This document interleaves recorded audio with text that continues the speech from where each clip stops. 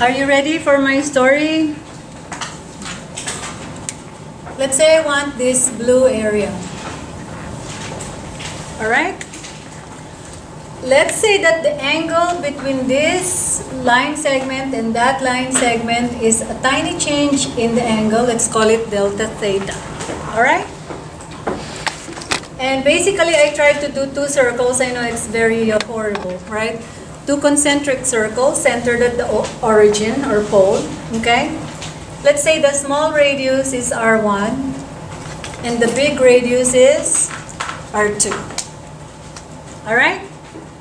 So far, you are okay with the story? Okay? What did you learn in Calculus 2 as well as in trigonometry about the area of the circular sector which we will call delta A. It's a sector, the sector. Isn't it half? If we want the big sector, there is a big, how do we get the area of the blue sector? The blue little thing. I need the big sector, take away the little sector, right? Okay, what is the area of the big circular sector? Half R2 squared, isn't that the formula? Right? Okay. Half R2 squared times what? The angle delta theta, right? Isn't that the formula? Minus, now what? What is the area of the little sector? 1 half R1 squared times delta theta. And I actually think this was how you did it in, did we do it like this in calculus too? Yeah. You forgot, right? This is how you do it, correct? Yeah. Okay. So you have half R2 squared minus R1 squared delta theta. You guys understood what I did here? I just did algebra, right? Okay, correct? Okay. Which I can now, what algebra can I do here? What algebra can I do here? difference of squares, I did factoring, right? Okay? Half R2 plus R1, R2 minus R1, delta theta. Okay? Half R2 plus R1 is really what? That's kind of like what? The average R, right? Okay? So we can call it R bar. Correct? Average. What's R2 minus R1? change. It's the change. So we can call it delta R. Right? And then we have delta theta. So what did we learn here? Can somebody tell me in words what we just derived? The area delta A is r bar, the average radius, times delta r times delta theta. Why do you think I'm looking at that? But do you understand what we got, right? This is your delta A, which is R bar, delta R, delta theta. What we are going to do in the future, that's why we did that, is we are going to have, I know, some, something like this. This is your R equals F of theta. This is your R equals G of theta. Let's say my region of integration looks something like this where this runs from theta equals alpha to theta equals beta. And this is now polar region, not Cartesian region. And we say, well, guys, could you guys give me what the area of this region is? So what's usually the story in calculus? The story in calculus is we have to subdivide these, right? Okay? But now because we're doing polar coordinates, rather than subdividing like that and then like that. How do we do it? because in Cartesian we do either x and then chop it y, right? Okay? So now in polar, what do we do? Uh, I'm thinking what color I should use.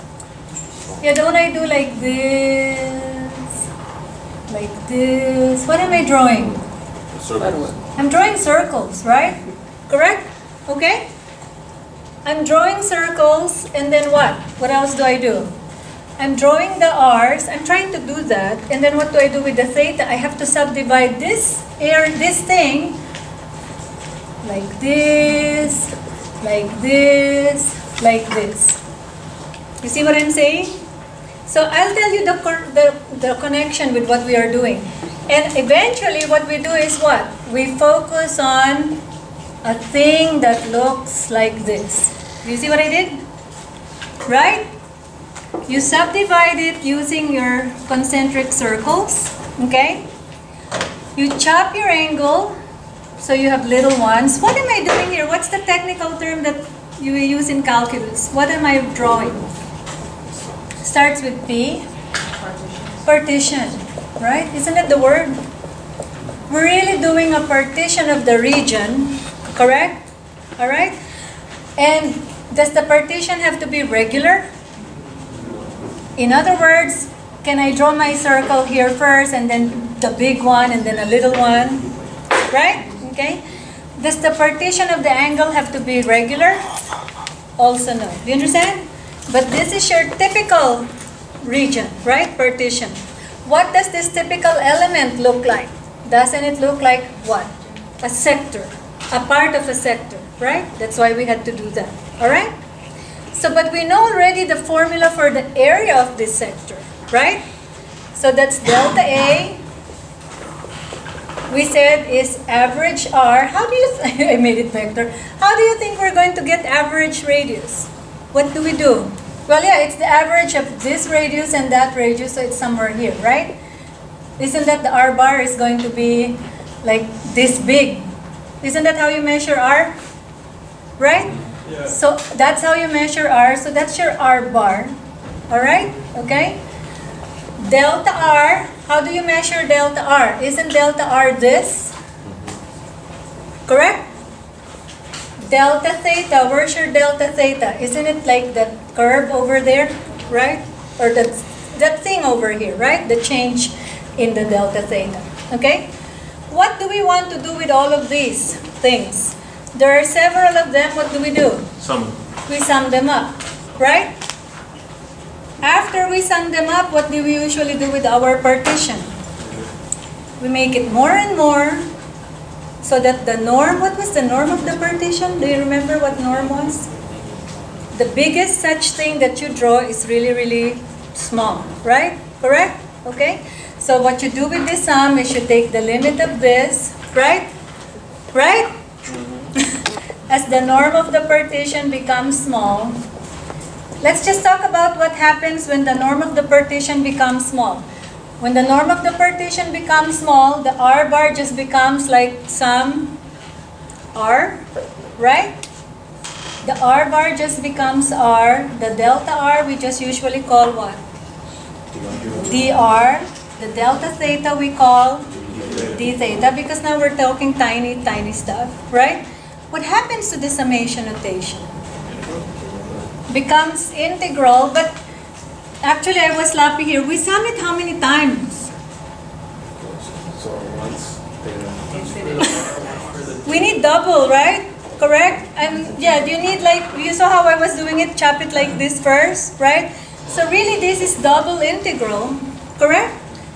Over the region R, and that is your R, dr, d theta. And delta A, we just call it our dA. Okay? And this is actually the integration formula that we will need to use if we want to find the area of a polar region. You understand?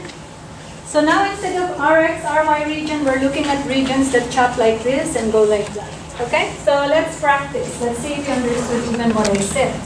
over here. Okay. what shape do you want to practice? Polar shape.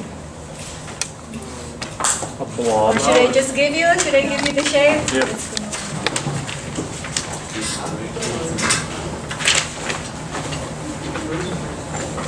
Sitting over there.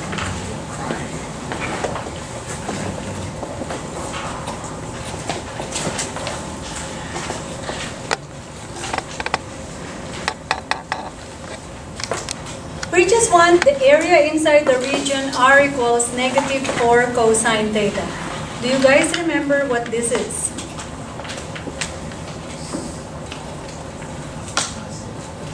Elizabeth, do you remember what this is? The flower, isn't it? I don't know if you guys did this. Usually, like in my class, right, we did this. We let theta run from what? Usually, it's good to do 0 to pi over 2, right? When theta runs from 0 to pi over 2, your cosine theta becomes 1. So that will become what? Negative 4 Two zero. to 0. Okay, let's see what happens. So what does that mean? Yeah, it's a flower. I start when theta is 0, I start at negative 4. That's your negative 4, 0. And then when I'm at pi over 2, I have 0. Does that tell me anything about the shape?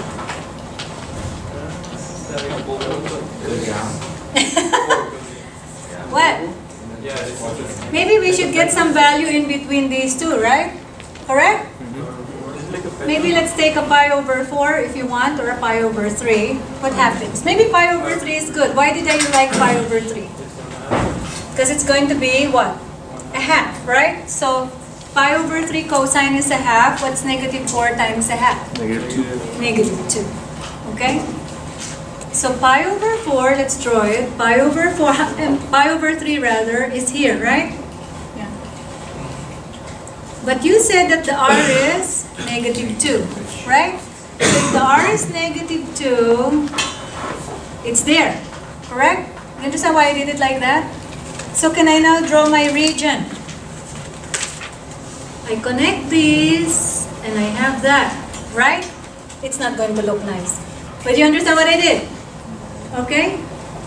If you remember, and then, because cosine is what kind of function? Even. This is what? Periodic? There's symmetry, right? There's symmetry that I'm, it's not that. An even function. It's, um, no, it has something, if, yeah, and it's too long to explain all that, right? Do you remember what this is? This is a circle, right? That you can actually just put like this. If you don't, this is like a big topic in calculus too, right? That you did. And I don't know if I'll have the luxury of time to explain all this here. That's going to be a circle with center where? At negative two zero, right? Okay? So there's really a family of graphs, the circles, and maybe we should review the, yeah, maybe this is what I'll do. I'll just give you like the summary, right? Because it's kind of hard to explain everything over. Circles look like what? A cosine theta or A sine theta, right? Alright? How can you describe this circle? This, this circle has what? Or maybe I should put, should I put 2A? Maybe I should put 2A, right? Because if I put 2A, I can describe the center and the radius, right? Where is the center of this circle? It's going to be at A, comma, 0, right? And the radius is going to be how much?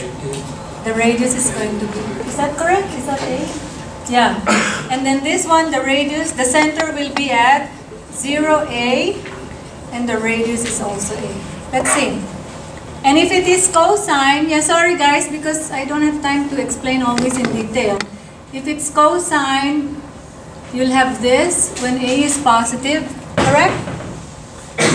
And then when A is negative, you'll have something here. Is that right? Mm-hmm. Yeah, I think maybe it's worthwhile to kind of do a quick review, okay, just to do that. And for sine, where will this be? For sine, if A is positive, it's up here, right? A is positive, and when A is negative, it's going to be down here. You get it? Okay, because for sine theta, you will have symmetry. Ah, no, did I? No, I think I. Yes, yes, I did it right, right? Okay, so that's fine. Yes, correct? Okay? Another thing you can do if you've forgotten is what? You can always convert to what? Cartesian, right? You can convert to Cartesian. Before I proceed, did I draw anything bad or I'm okay? I think I'm okay, right? Okay? Yeah, because, okay, this is what I was saying, I forgot. For cosine, there's symmetry with respect to what axis? The x, okay? Polar axis. So whatever is on top is below. Here. So- the center is a pair of uh, O and angle or X and Y? Ah, no, I'm sorry, I've made it X and Y. Yeah, you can, very good, I'm, I'm just locating it, okay? Oh, okay. Yeah, but very good, this is X, Y, the way I wrote it here, okay? But, yeah, we'll, we'll talk, I just want to kind of locate my circle, all right? And then for sine, there's symmetry with respect to the pi over 2 axis, right? The y axis. Okay. All right, let's go back to the story. What was the story we wanted to do? We want to find the area of this region, right? How do we find the area of this region? What we have to do is, what instead of chopping it like, um, what you call this? Down and like this, you do, exactly what you did in Calculus 2. What did we do in Calculus 2? Didn't you draw like a sector? Right? Isn't that what we did in Calculus 2? You didn't do that in Calculus 2? You did that. Anyway, what you do is, you do that little thing I was doing here, earlier there, and then you draw this, you kind of chop up your, ah, that's why it's so hard, you forgot everything, right? Okay. You draw this sector, and this is like, like kind of what you let, let R run In fact, for polar, it's it's not really going to be hard because it's always going to be r d r d theta, usually. Usually the theta is the one that's really just outside. So you let your r run from somewhere, somewhere to somewhere, okay? Let me ask you, how is r going to run if you start here, go all the way there? What will be the lower boundary? What will be the upper boundary? Is it always going to be from r equals 0 where there's nothing, right? No length, correct? To r equals the maximum length around the circle is given by what? Negative four. Negative 4 cos theta, right? You agree? Okay? So from here to here. And the test is if you run this around, is the boundary changing or is it always the same? Uh, this is al- it's always the same, right? It's always 0 to the circle, right? So 0 to the circle. And then now for the outer boundary, you basically just have to tell me, well, how did we draw the circle? Um, zero to five. Did we have to use all of 0 to 2 pi? How did we draw the top half of the circle? Yeah. Zero to pi over. 2. I think we just drew the 0 to pi over 2 to generate the top half, right? You're gonna tie it You agree? Zero pi. And then you just multiply this by 2. Try it. If you try to go all the way from 0 to 2 pi, I think you trace Why the circle two times. Or you can just do 0 to pi, of course. Yeah, zero to pi. Yeah. If you don't like 0 to 2 times 0 to pi over 2, you can also just do 0 to pi without the times. Well, you can see also there, your starting point goes from zero and then it spans an entire half. Yeah, from here, just from here, you spend the entire half of the circle already, right? Okay? So up to there, at, as early as there, you could have stopped. Okay. And are you guys okay that this is always a mainstay, right? R, d, r, d theta. Okay. Let's draw another shape.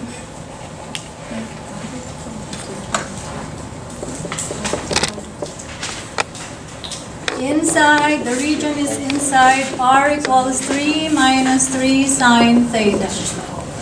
Do you guys remember what that shape is?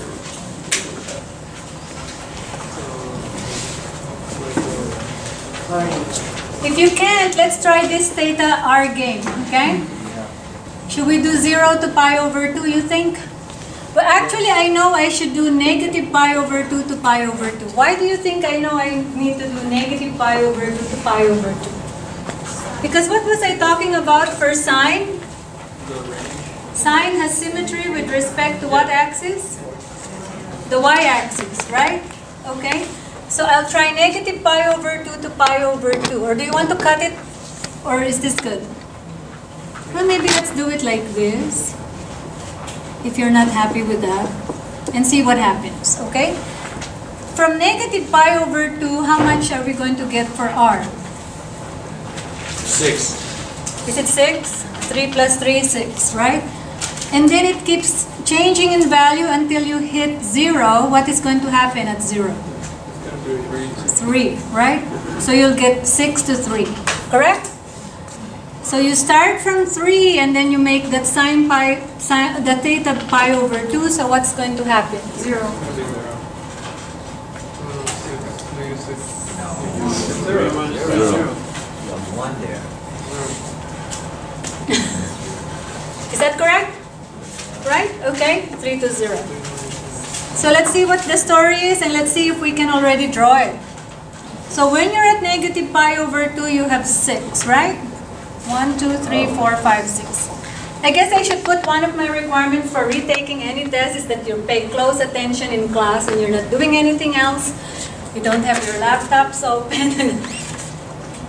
okay, so you have that, right? Okay? And then what? At 0, isn't this what we have from 6? And then we have what? 3? Did I do it right? When you're going from negative pi over 2, I know I should not let these things upset me. Focus on my lecture, right? I have 6 going to 3, so I draw like this, right? Correct? And then from 0 to pi over 2, what happens? It closes. What do you think this shape is? This is your heart shape, right? Okay? Correct? What did you call that heart shape? Does anybody remember what you call that heart shape? With an L, I think. I did not do it right, but you know, it should you fold it, right? This is called a car ah, Cardioid. cardioid, right? Okay?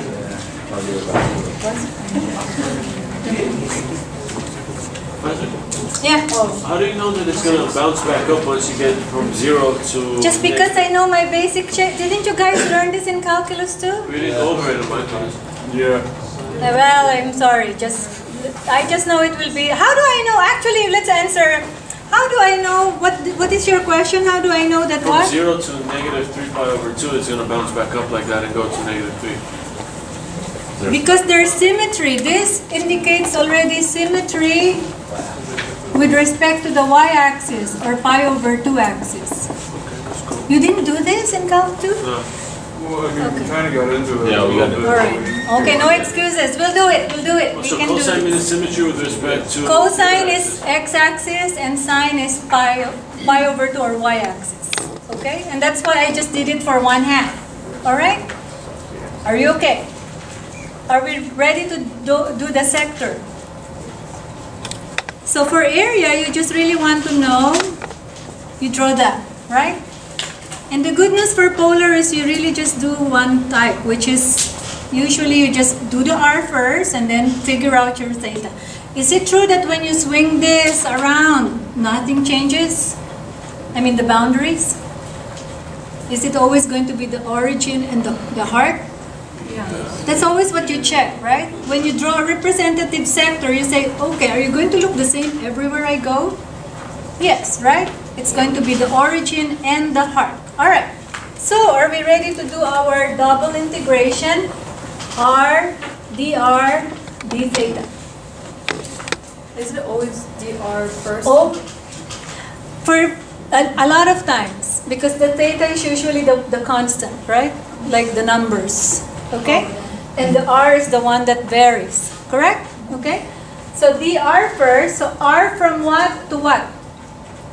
Zero. r from 0, if you want you can put it there so you know your r is the one changing, right? r from 0 to r equals 3 minus 3 sine theta.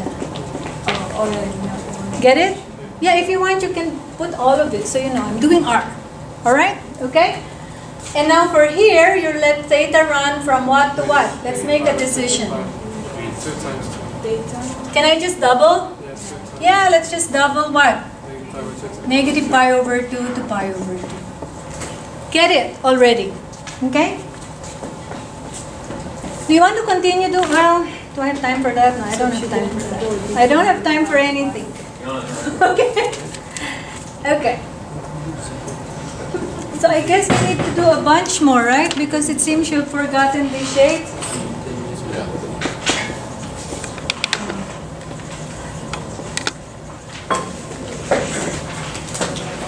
Professor, if you didn't double it, it would be from negative pi to pi? If you don't double it, then it will be from 0 to pi. Well, oh, to complete it, I don't know, it's easier to just double it. Can you, if you don't double it, can you just do 0 to 2 pi actually? If you could, You could, right? Just go around. Right? Just do 0 to 2 pi. That means to say you just go completely around. Right? We do it from zero to two pi in the circle. That's going to be double. That's going to be two times. You can check it, okay? You have basically the, the trick for polar coordinates is you have to see how much you Anthony, if you try to do it from zero to two pi, you will draw the circle twice. Okay. I think you will do too many things. So if it's in the first or, or, or fourth quadrant here, it would be the two pi? Mm-hmm. I'm sorry, okay, I have so many. I was going to do surf 17.4 also today. Yes, I'm, so I'm trying, okay. Oh wait, so let's do our trick, right? Does anybody recognize this? Well, if not, let's do our trick of, actually for something with a number in front of the theta, I think this is what you should do. Do you guys know that? It's the 4 theta is the argument of cosine. That's what you want to make nice. You understand? What do I mean by nice? The, the, the ones where you know the answers to, right? Make this run from 0 to pi over 2. Okay? When 4 theta is 0, what do you get for this answer, for this value? 2, right? Because cosine of 0 is 1. So you get r is 2, right? And it will change in value from 2 to, when 4 theta becomes pi over 2, what happens? It becomes 0. You understand? Okay? Now what you graph is not 4 theta, but theta. Correct? Okay? So theta becomes what? As 4 theta runs from 0 to pi over 2, really your theta is running only from where? From 0 to pi over 8. Let's see what we get and then maybe we're done with that actually. I hope. Okay, let's see. When theta is 0, uh, when theta is 0, you start at 2, right? When theta is 0, you start at 2. And you let it run all the way to 0. Right? Correct? How do you think I will connect these? Well, you can tell from the instruction one loop, right? That's half a loop, right? By symmetry with respect to what? Because it's cosine, where do I flip this loop? X-axis. There's one loop. Are we done? Yeah. Yes, because it's asking only for one loop, right? Correct? It didn't ask you to graph. It just said, guys, give me the area of one loop. If it were to ask you to graph, does anybody remember what the graph of this was? It's an eight, no, it's an eight-leaf rose. Can you imagine eight leaves? Yeah. I'll try to draw it, but it's really a lot. But do you understand why I was so happy? I don't really need to worry. I, I did a slow. I did a bad job doing those leaves. The leaves should all be what? The leaves should all be the same size, right? Okay. So yeah, in my notes I have yeah, here same size. Can you see of the leaves? But is, are- are you okay that I'm really just happy with one? Yes. Because that's all they want, right? Okay. So are we ready to set it up? So let's draw our sector, right? Let's do our R, dr, d theta. Everybody can write that now in their sleep? R, dr, d theta, right? The R will run from zero, now R, to where? To 2 cosine 4 theta, right? Okay?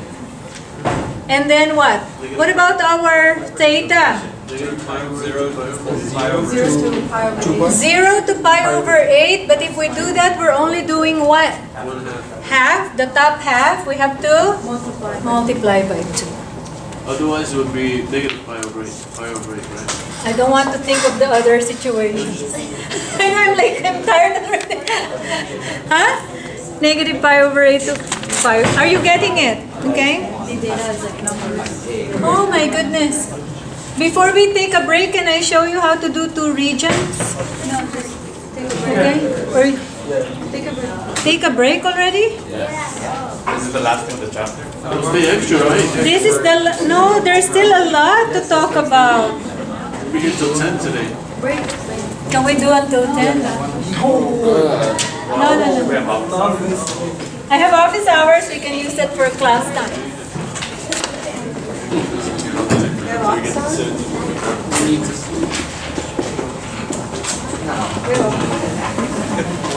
Okay, let's see, let's see. Outside. Um, you're just like, I was going to tie this up with how you learned it in calculus too, but maybe that's going to waste the time. So let's just do calc 3, okay? Basically, it was the same thought process, the same skill you're doing here. Okay, so hopefully you guys recognize the first one already. What is the first one. Circle, right? The first one is a circle. Where is the center, Cartesian center? Just to draw it. Zero, one point five. 0, 1.5, right?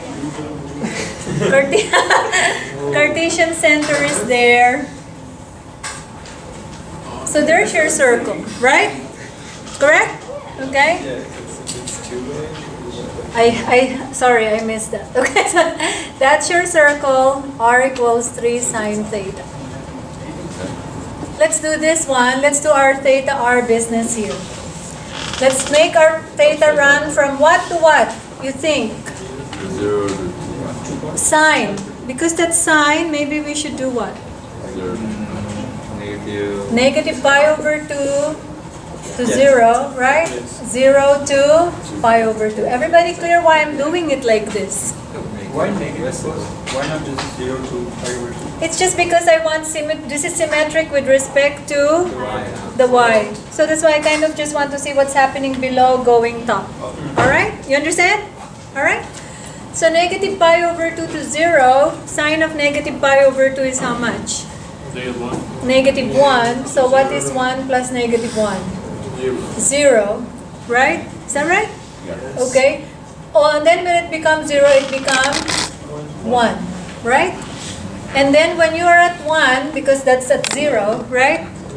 You have sine of pi over 2 is 2. Well, what you know, you know what I mean, right? Sine of pi over 2 is 1. 1 plus 1 is 2. So let's see. At negative pi over 2, I have Zero. 0. So it's here? Did I draw it right? Yeah. Oh, yeah, yeah, it's going to go like this, huh? Ah, and then at 0, it becomes 1. This is still a heart? Yeah, it's upside down. It's still a heart, but what kind of heart is it? Should we still do it red? Sure. And then from 1, it becomes 2. Purple heart. Actually, I could have done a purple heart. Do you guys see the drawing for the half the heart? Yeah. 0 to 1, right? 1 to 2. Correct? You get it? Right? And then because of symmetry, all we have to do is what? There's your heart. What region am I looking for here? Inside the circle, outside the heart. Right? Inside the circle, outside the heart. So it's really this. Is that right? Yeah. Oh, it's fun, right? Okay. So then I draw my sector. Do you see the blue sector? If you swing that, if if you swing that everywhere, will it be? We, so we're just interested in the green portion, right? Is this a good way to draw it? It will be the same boundary everywhere? Yeah. Okay, so how do we do this? Let's see. And let's set it up and then we'll figure out what we need, okay? R- So we know it's a double integral r dr d theta, right? Do, should we figure out the d theta first? No, actually that's harder. Should we figure out the r first? Yeah. Yes. Yes? What do we do? Be very, very, be careful here, guys, okay? What do we have to do here? One plus sine theta to three sine theta. The bottom R is what? I, I, One plus sine theta. 1 plus sine theta, right? You start from the bottom R and then you go up to 3 sine theta.